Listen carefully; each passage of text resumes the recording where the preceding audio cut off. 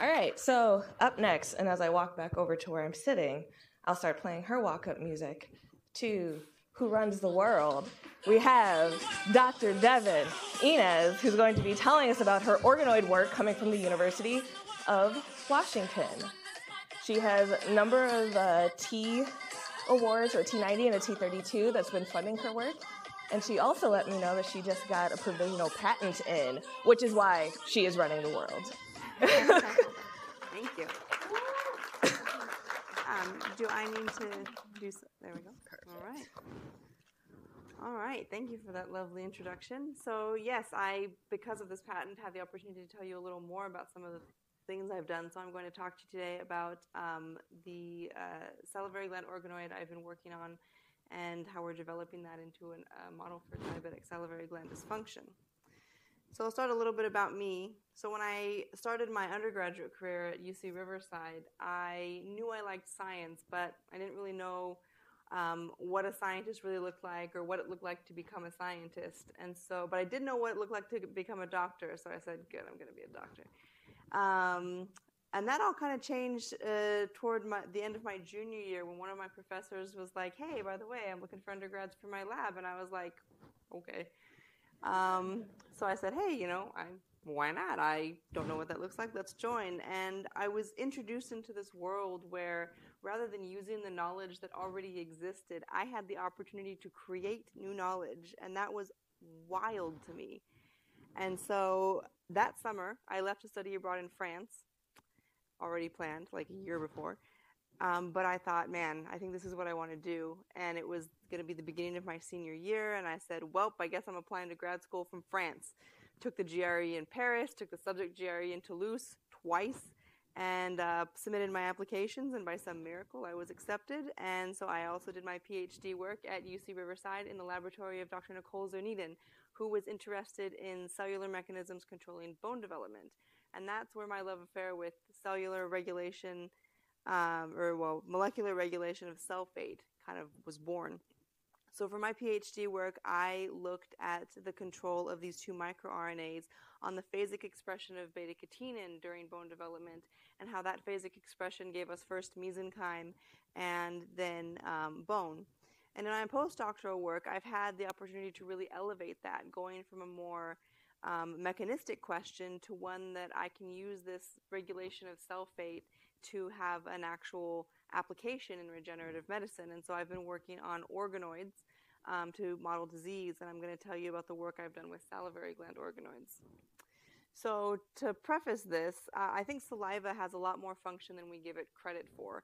So, we con- commonly associate this with digestive function, but in actuality, it does a lot more things. It has a lot of antimicrobial properties. Um, it's incredibly important for tooth mineralization. It has buffering capacity. It does wound healing for us. So, consequently, when our salivary glands don't work, we have problems. And so, people who have dysfunctional salivary glands have a lot more oral infections. There's a lot of uh, dry mouth and inflammation in the mouth. There's a lot of gum disease and tooth decay and loss. And depending on how severe the dysfunction is, you can have difficulty swallowing, difficulty speaking, and this chronic feeling of burning in your mouth. And so, while we know that this is not something fatal, um, sometimes people fail to understand how important this is because of the lack of fatality. But it's important to note that um, ongoing studies are showing that salivary gland dysfunction or oral health problems in general have gr- far greater implications than just discomfort and low quality of life. We're actually finding that people with poor oral health have increased uh, incidence of neurodegenerative disease, including Alzheimer's disease, increased heart disease, altered gut microbiomes, and uh, increased inflammation in patients that have asthma and COPD. Additionally, we're finding that salivary glands turn out to be excellent reservoirs for viral infections, including noroviruses that give us our stomach flus and COVID 19. And people who have dysfunctional salivary glands have worse infections. So, understanding salivary gland development and salivary gland disease and dysfunction is becoming incredibly important. So we have three major salivary glands. They produce about 90% of our saliva, and we have hundreds of little minor glands that are located throughout our oral mucosa that keep everything kind of wet and lubricated. And these glands all have this really uh, uh, complex ductal structure. that are terminated in these um, uh, secretory acinar cells, and they're surrounded by these little myoepithelial cells that contract and help move the saliva through the ductal system. Um, studies we've had so far have been primarily done in mouse, mostly because people tend not to like it if you want to take their salivary glands away, what with them not being regenerative and all. And so our ability to study human salivary gland development and function and disease has really been stymied. However, mice and humans have distinct differences in the function and, and composition of their saliva. If we think what mice are using their saliva for, it's not quite the same as what people are using their saliva for. I mean, we don't tend to lick each other to kind of know that we that we are that we are family and things like that. So, so humans have different needs for their saliva. So we really need a human specific model to study these things and we didn't have one. So I decided to make one.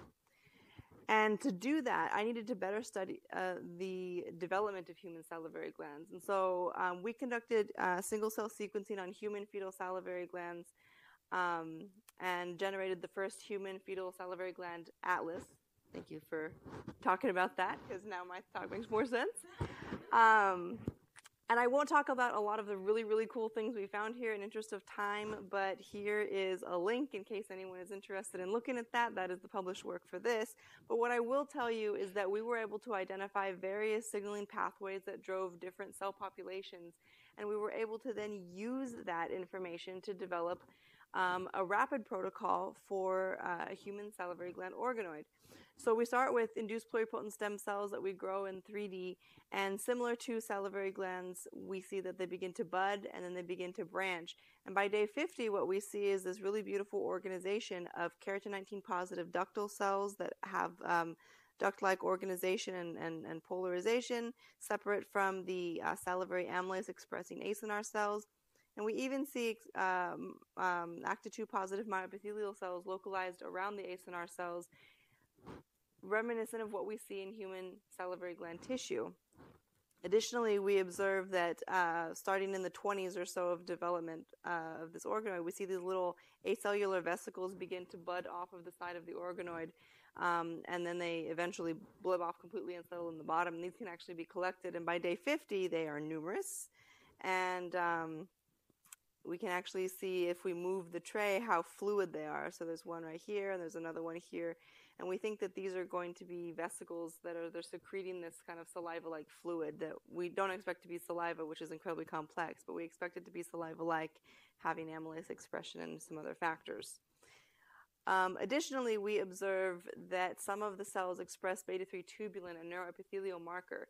And this is of particular interest because one of the big drivers of salivary gland dysfunction is uh, facial nerve damage. And like salivary glands, these nerves do not regenerate, suggesting that then we may be able to manipulate this organoid further to generate their own nervous tissue to have regenerative capacities in the, in the future. So now we have an organoid. What do we do with it? Well, um, one of the big drivers of salivary gland dysfunction is going to be diabetes, namely because of the prevalence of diabetes itself. So people with diabetes experience more oral health problems. And studies uh, looking at uh, saliva in diabetic subjects compared to healthy individuals found that saliva itself um, has a lot higher concentration of glucose and a lot lower concentration of salivary amylase. Additionally, we see reduced salivary flow rate, reduced pH, and a lot of imbalance in terms of electrolytes. Um, so we know that the composition is is is altered, but we don't really know why or by what mechanism this happens. And that is what I'm interested in using this organoid for. And so I, inter- I was interested in then in trying to turn this organoid model into a diabetic model. So other work that I'm doing in the lab focuses on using um, blood vessel organoids to investigate therapeutics for diabetic vasculopathy. And in those cases, um, we have the organoid and we culture them in what we're calling diabetic conditions, um, which is high glucose and concentrations of the more common inflammatory cytokines TNF alpha and IL 6. And what we see in that case is that we see a complete disruption of tight junctions and an increased deposition of collagen 4. And these characteristics are uh, the same characteristics that we observe in human blood vessels, indicating that this milieu kind of drives a, a diabetic response. Um, now, because saliva is basically an ultrafiltration of human blood plasma, it stands to reason that saliva um, would be in, in a similar kind of state as, as blood vessels. And so we hypothesized that we could use a similar environment as a proof of concept to see if we could make this uh, salivary gland organoid respond to a diabetic environment. So that's what we did. And what we observed was in our preliminary analysis, we find that um, compared to control, where we do see distinct regions of salivary amylase and keratin 19 positive cells, we see a lot of disorganization and a severe reduction in salivary amylase indicating that these organoids can indeed be developed as a diabetic model. Now, of course, diabetic milieu is, is much more complex than some cherry picked cytokines and some high glucose that we don't really, you know, we, we kind of have a, a guesstimate of how high it is. This level is basically as high as a human could experience without dying. Um, and there's arguments for and against that. But what we think is a better uh, thing to do is we've we've decided to collaborate with the Diabetes Research Center at the University of Washington, who can gain access to human um, plasma samples from diabetic and healthy individuals. And we think that will be a better, more clinically relevant representation of the diabetic milieu. And so we are collaborating with them to work on that now. Additionally, because uh, the characterization of diabetic saliva right now is so basic, we are working with the School of Dentistry to have a broader characterization of the saliva. And we're interested in taking into account um, comorbidities and other factors that tend to affect diabetic individuals, including sex, age, um, hormonal status of, of the patients, and uh, importantly, diabetic polypharmacy. So, diabetics take a lot of different drugs that could also affect salivary gland function. And so, in doing this, we want to really be able to isolate the effect of diabetes, the disease, on saliva as opposed to all of these other confounding factors. And so, as we're developing this, we're interested in asking the question what is the molecular cause of salivary gland dysfunction in diabetes? And this has been asked in a lot of organoids. And one of the kind of uh, overlapping things that we see is that inflammation um, leads to metabolic changes, leads to epigenetic changes, and we then hypothesize, or I guess we even less than hypothesize, we assume we will also see some of these changes in salivary gland. And because of the importance of mitochondria in salivary gland function, these are super necessary for the secretion from the acinar cells and for the secondary saliva uh, uh, um, generation in the striated duct, we hypothesize that our big driver of this is going to be disrupted mitophagy in both the acinar and the uh, salivary gland and epigenetic modification of genes that drive these things. And so we're very excited to be able to use the organoid to really, for the first time, ask these questions. So this this work's going to have a lot broader implications. So we're asking this question in terms of diabetes, and diabetes is a disease of metabolic dysfunction and a disease of inflammation. And a lot of diseases that affect salivary gland are actually in a similar vein in, in inflammation. So one of the bigger ones is Sjogren's syndrome, and this is an autoimmune disease that affects not only salivary gland but also lacrimal glands that produce our tears. And um, patients also experience uh, uh, skin dryness and vaginal dryness. So all of these secretory epithelium are kind of damaged. And so we believe that our work can also shed some light on some of these other tissues, uh, given these the similarities in structure and function of a lot of these exocrine tissues. We can ask questions. Okay, well, if this is damaged in this gland in this way, can we ask these same questions in these other tissues? Um, we also are looking for viable pharmacological therapeutics for exocrine gland dysfunction, namely salivary gland, because in case people aren't aware, the current solution is um, uh, what is effectively fake saliva that patients have to spray into their mouth multiple times a day. And it's basically putting a band aid on the problem and not actually solving the problem. And so we're seeking pharmacological therapeutics. But the ultimate pipe dream for this, um, which would eliminate the need to use pharmacological solutions at all would be bench to bedside approaches where we can develop this in such a way that we can take patient cells, create them some salivary gland organoids, put them in their face, solve the problem. Um, so we see a, a, lot of future potential for these uh, organoids. So I've spent all of this time telling you about one of my major passions, and I want to tell you now about one of my other major passions.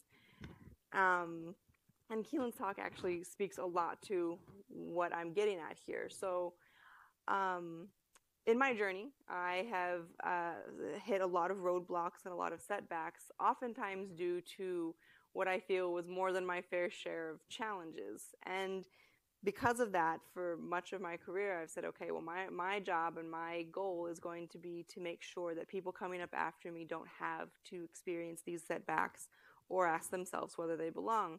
And so I'm going to put this mentorship, eh, you know, put these practices in my mentorship.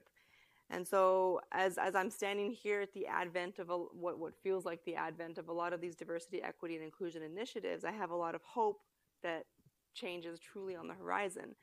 But as I'm really thinking about what is going to be my legacy as a researcher, I'm starting to understand more and more that this this uh, idea of diversity, equity, and inclusion needs to go beyond mentorship and extend really into the way that I do my research and the motivation behind my research. So Keelan talked a lot about uh, health disparities. Diabetes is a health disparity. Diabetes predominantly affects individuals of color and individuals of lower socioeconomic status. So in the research I showed you today, all of these cells were derived from a 34-year-old Asian male. Not really our demographic for diabetic individuals.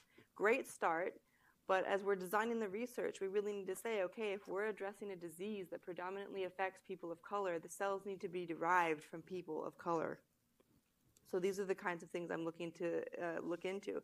Additionally, re with regard to health disparities, we all have this excellent goal of making therapeutics for people, but the pharmaceutical industry is a multi-billion dollar industry that often excludes people who need these things the most. So as I'm looking to develop these therapeutics, it's for me it's not going to be a question of I need to develop a therapeutic.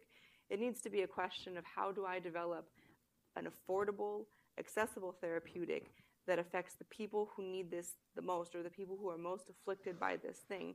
And so this passion of mine for diversity, equity, and inclusion spreads then to advocacy and to outreach to ensure that my training of my scientists and my own work includes all of these things. And so this is a very important passion of mine. So um, I want to thank my uh, mentor, Dr. Ruohola-Baker, for taking this salivary gland uh, trip with me because nobody works on salivary gland but me. That's my thing. Um, but I especially want to thank uh, my very talented undergrad, Hyun Jung, who is about to start his own um, grad school journey, and then all of my collaborators um, for their help, and of course the Birth Defects Research Lab, who uh, gave us the fetal samples that facilitated the research that kicked all of this off. And I would love to take all of your questions. Didn't I tell you Dr. Devon was going to rule the world? All right, so we already have a. Keelan's cheated. She sits next to me, so she got a box already. she starts. Um, okay, so uh, is there a difference between like the alterations that you see in salivary glands between type 1 and type 2 diabetes? Or is it kind of all the same?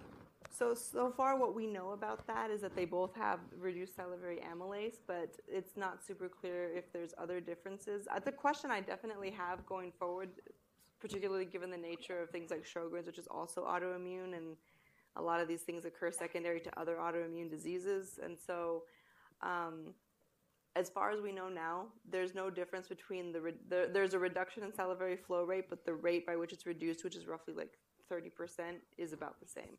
So those questions have been asked, but again, the molecular changes that we see, um, the demographics that are affected, that's not that's not super clear. Hi, over here. Um, great talk. Um, I was curious about those little neuron-like things you saw. uh, Me too. So, have you looked at other neuronal markers to see if it's some sort of a weird beta tubulin artifact or they're actually neurons? And then my second question is, have you considered maybe doing? I think they're called assembloids, like mixing a neuronal organoid with your uh, salivary gland organoid to see if it will enhance growth or I don't know. So um, I have not looked at other neuronal things. I got a little distracted, but I did use two different tubulin antibodies because at first I said this must be a mistake, and I got a different antibody. Um, use it with both antibodies, so that's cool. Um, beta tubulin does mark all of the progenitors, so it's I think very within the realm of possibility that these are like neuroepithelial progenitor mm-hmm. type cells, which is why I say I think we can manipulate it to make them. I certainly don't think they're full on neurons or, you know, nerve tissue, but I think they have potential, which is pretty cool. Um, in terms of the the assembloids, I have considered that. I'm considering that for both the neuronal aspect and the vascular aspect because I did stick them. I mean, I, and I waited until they were kind of like old. They were they were fully fully mature, but I did stick them in kidney capsule and they did not vascularize. So now the question becomes: Do I need to vascularize them myself, or do they just need to be like in a more growth state to do that? But um, we haven't had the chance to go back and revisit that. Uh, this is super cool stuff. I want to ask you sort of about the end of the talk and how that interacts with. Uh, I mean, it, Jay mentioned before that you got a patent for this stuff, right? And I guess uh, for me, I've always been sort of scared about like interacting with patents because I'm like, oh no, this is a way that people can make money and restrict these sort of ideas, right? I'd love to hear your thoughts about how that goal interacts, and like I'm sure you've thought very, very carefully about that. So when I thought about whether or not I wanted to do the patent, the way that I kind of looked at it was how am I going to fund an ultimate clinic? Because my, my, my goal is bench to bedside.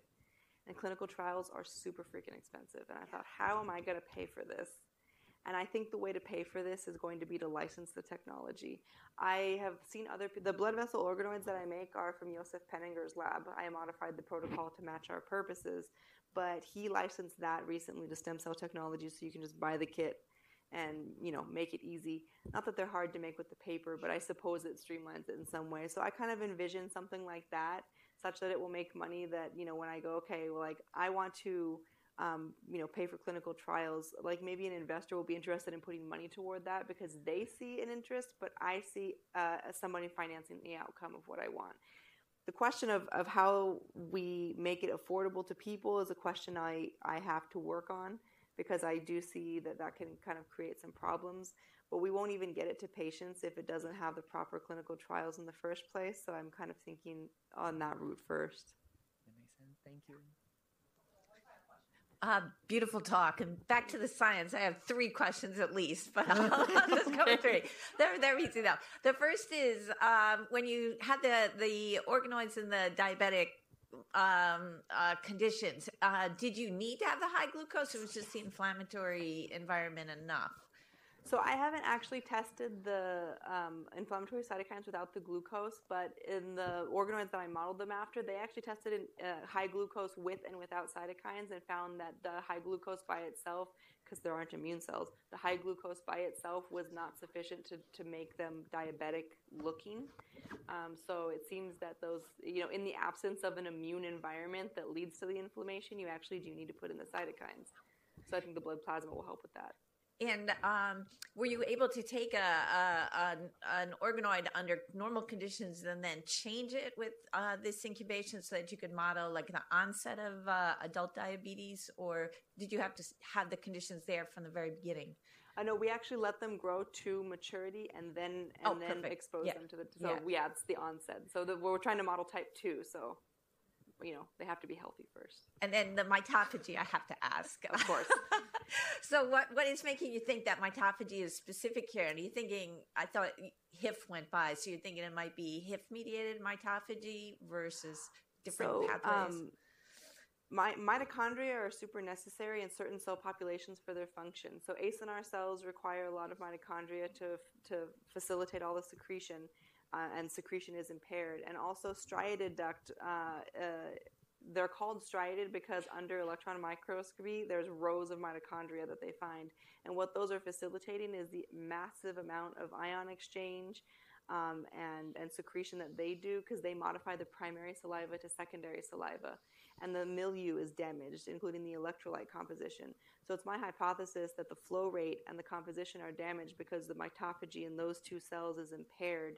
Um, I, I have found in other tissues that it seems that my, um, mitobiogenesis is never impaired. It always seems to be the ability to deal with the damage that is caused by the oxidative stress. So because mitochondria are so important, I really suspect that the damage is going to be pretty well due to damaged um, mitochondrial function and, and, and, and mitophagy. yeah, I'm very cool. interested we'll in your in your stuff. Thank you. All right, let's give it up once again for Dr. Devon Ehnes.